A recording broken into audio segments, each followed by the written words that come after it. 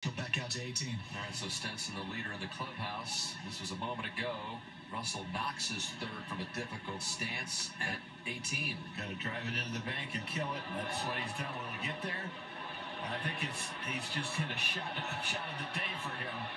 Look at that down the hill. It's gonna go. Oh, is that good? That is terrific. Look at he loves it. He said that's